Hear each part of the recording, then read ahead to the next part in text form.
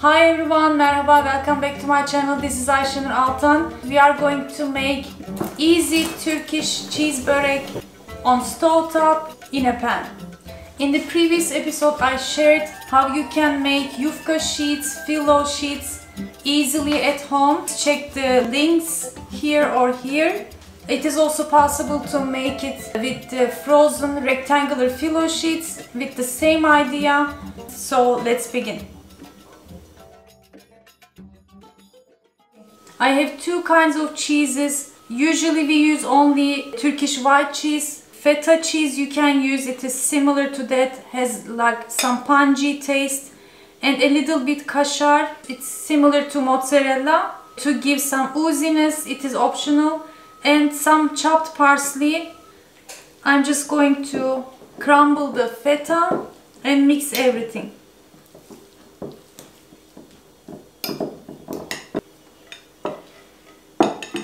Pan size is, it doesn't say here, is about 20-22 centimeter. Medium size pan, non-stick. And uh, since our yufka sheets all are also small, it will be better to uh, place them here. And uh, we need a sauce to dampen and uh, flavor our börek. For that I'm gonna use egg, some milk and vegetable oil one egg, third of a cup milk and same amount vegetable oil. I'm gonna use mix of uh, sunflower and olive oil.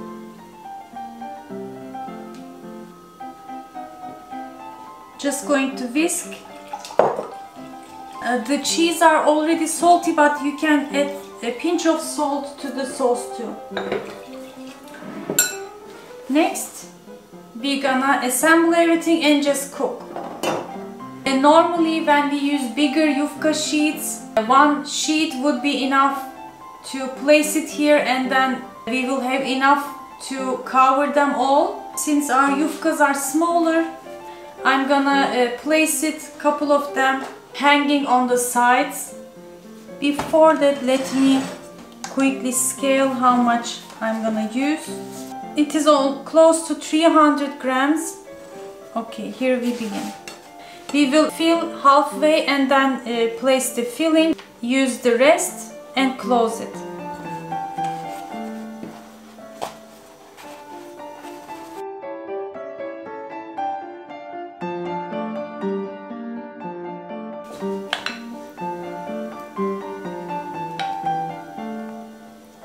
Just soak a little bit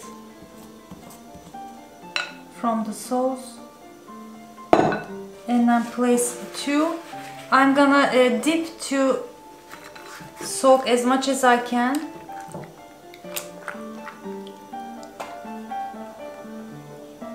Place it like this wrinkling. And the next one.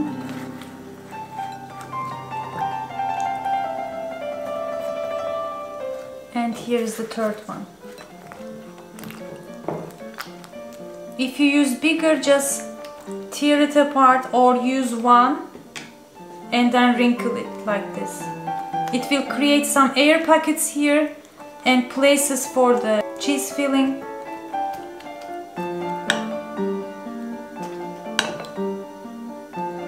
Next the cheese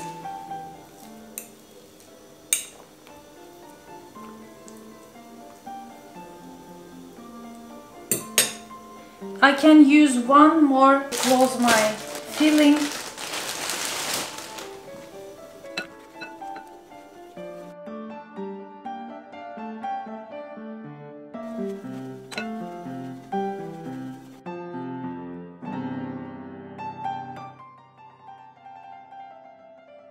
and it's ready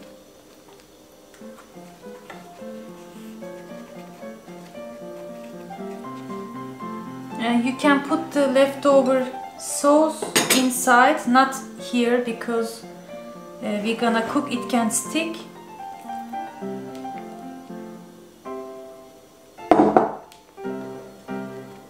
And that's it. Okay our börek is ready to cook. Let's go to the stove top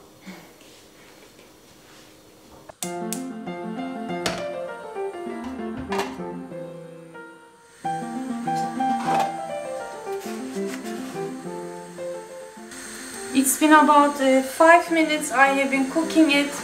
Let's turn it. No, it's not gonna work. It should fit, so I'm gonna use another one. I oiled my uh, plate, place it here and turn it over.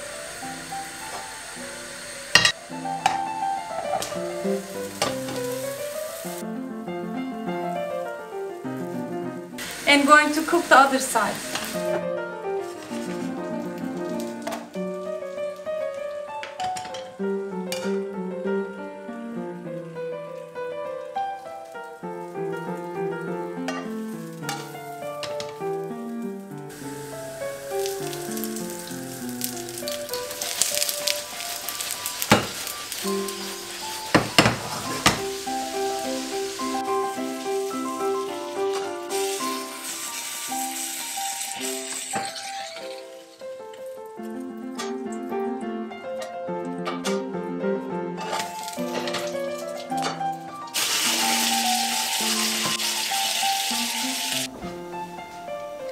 Okay, my börek looks very appealing, crunchy. Let's turn it over and take a look.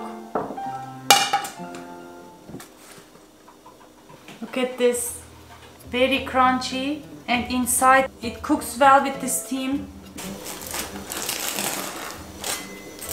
Look at this crunchy sound.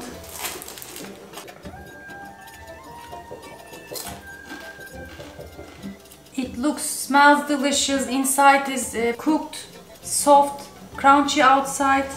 It is still hot. You can make roll börek with the yufkas as well.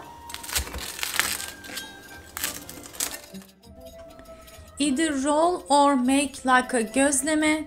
Just place from the filling you want. In this case, this is white cheese with chopped parsley and then fold it to make rectangular or square whichever you like. Drizzle some olive oil and heat the pan and cook. And for the second one I tried using ground beef and onion sauteed along with some shredded kashar mozzarella cheese. And again seal it with the help of some butter. And it's done